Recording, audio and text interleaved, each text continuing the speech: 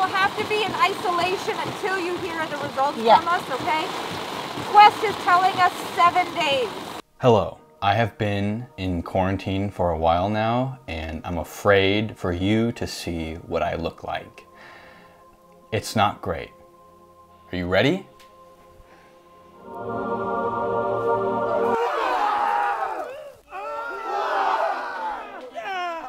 What do you think? What do you think?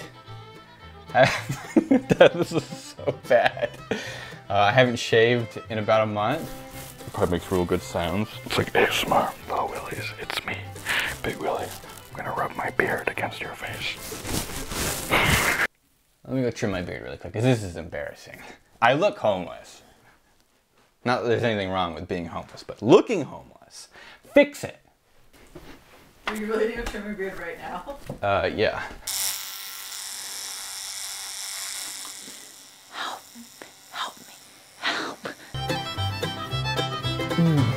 That's good. Chelsea, what do you think? I haven't seen my chin. Come- back here. I haven't seen my chin in like six years. Come back! okay, I gotta fix this.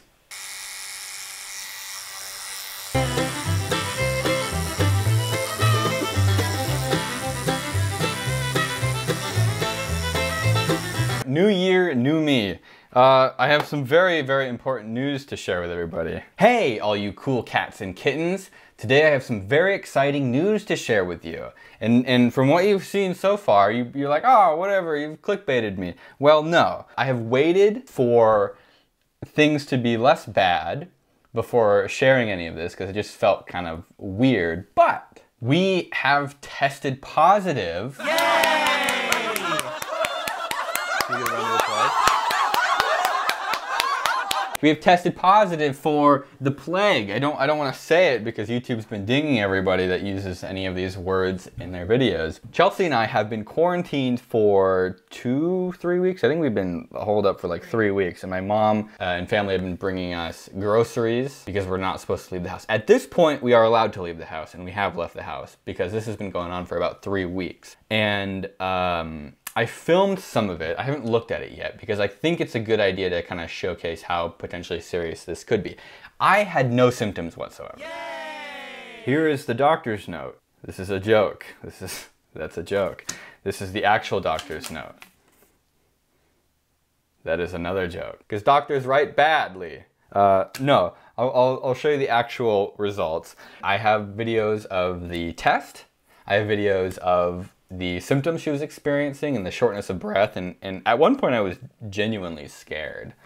Breathe in. See, that's like half of what you were able to breathe in earlier.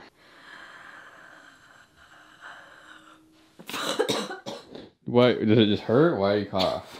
Because it ca- hurts. And this whole experience has been an utter nightmare for the both of us because it just has been such a uncoordinated disaster. Like not just because things didn't get done, but information was conveyed to us in a way where it could have been easily misinterpreted. The date is March 14th, 2020. Coronavirus has been affecting the patient very negatively. I don't have coronavirus. As you can see, the patient has become very, very uh, angry and dismissive and combative. Earlier, the patient was smearing her own feces across the wall.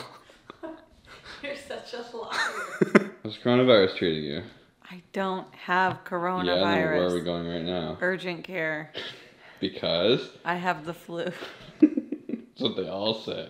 The instant she had any symptoms at all, we went to urgent care, drove under the tent. They come out with their wheelie cart with all their stuff on it. They ask a couple of questions. We're gonna swab you for the flu. Is it okay if I film some of this? No, it's not. We don't allow filming. Okay. No, I think actually no, it's worse than that. Let me rewind a little bit. You pull up and you have to get out of the car and talk to the lady that's sitting outside of urgent care in the parking lot. Whether She's wearing a mask and stuff, but uh, once they sign you up, you go around back in your car, you pull up and you go under the tent. I'll start the flu swab and then um, we'll get that running and then I'll come back out to take vital signs. Okay, so this is gonna go in your nose. Sorry, it's gonna be ticklish. I filmed it anyways.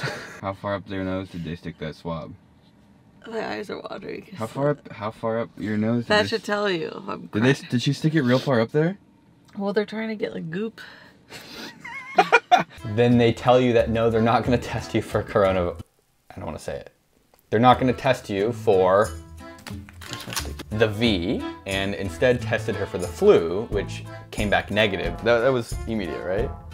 15 minutes. 15 minutes. So the flu test came back negative, and they told her she had a cold. So, Do you have coronavirus? No. Do they know for sure you don't have coronavirus? I mean, they're not testing anyone unless they think that you, like, are worth testing. So you're not worth I'm not sick enough that they think it's worth testing. Do they get mad at me for filming? Yeah, they got really mad. Two people came and yelled at him. retrospectively, knowing that she was contagious and I was probably contagious, even though I had no symptoms, they told her she had a cold and to go home. So we assumed, oh, if, if you test positive for flu, that means that you probably are, or if you didn't test positive, we thought that meant that you would test positive for the flu if you had the V. But I guess that is not the case. The next day, someone that caretaker had been in close contact with called and said they had been tested positive for the V. So our next step is to call her primary care doctor, who then sends us to a different hotline, who then sets up a drive-through appointment. Who are you calling? Primary medical. Why? I'm sick. With what? I've been exposed to someone who has coronavirus. You're gonna die. You're gonna die. So were you then? I'm gonna die. You killed me. What is your temperature? Uh, the last I took it, it was 99.1. Who then sets up a drive-through appointment for us to come in the car and, and get swabbed and tested for the V.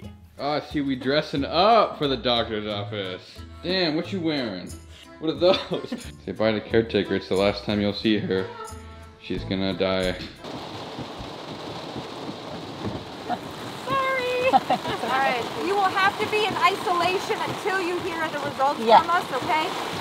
Quest is telling us seven days, Okay. but it could be sooner, Okay. okay? Okay, what about what about me since I've been in contact with her? Uh, if she's positive, you're positive. Okay. Do you want to describe the swab? What do they do? You like put your head back and they shove a swab up your nose to get into your like, you know, mucusy area. Into your mucusy area, yeah. Yeah, they really get up in there.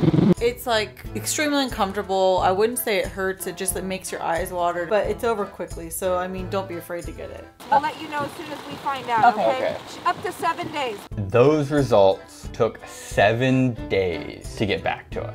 Between being told she had a cold to knowing she had the V took seven or eight days. All I, I, I just, ugh. It just felt, it felt, it felt like a total disaster of a, of a situation. Basically, you know when you, you like, you, you talk to a professional, you pay them good money and you say, hey, tell me what I need to do. There's no professional. They had no idea. There's misinformation, like the wrong kind of test. They're like mis. er, You give confidence to people by telling them you don't have of a, a thing. Oh, you've just got a cold. It's not a big deal. When they actually do have it. I mean, do you understand how bad that is for someone, for a doctor to tell you that you have a cold, but we can't test you for the V? I mean, that's insane, right? During the second test, I asked about me. What about me since I've been in contact with her? Uh, if she's positive, you're positive. Okay. If she has it, I have it. I had no symptoms at all whatsoever. Chelsea had pretty bad symptoms a couple days after doing the test to the point where I didn't know what I was supposed to do. I didn't know who I was supposed to call because you call a primary care doctor on the weekends, no one picks up. At, at 50% lung capacity, am I supposed to take her to an ER? But like, I have no idea what I'm supposed to do. No idea if either of us even test positive for it, because now it's like we need to go to the ER. You go to the ER. Do you test? do you- Well, we got tested, but we're not positive. I don't know. I don't know. I don't know. The whole thing just is insane to me. In the end, we are both fine. I experienced nothing. How would you describe your experience with it? I'm really busy right now. So what was the question? How, how would you describe your symptoms in general? For me, it started out with really intense body aches, like the worst body pain I've ever had before. And then from there, I got a dry cough and then shortness of breath. And then I started getting fevers. And I would say what sucked was this, you had all of them at the same time, and it was for about a week straight. And it was pretty scary not being able to breathe well. And I didn't, I didn't want to freak you out because I really didn't want to go to the hospital. So I tried to downplay it, but I was kind of scared. Actually? Yeah.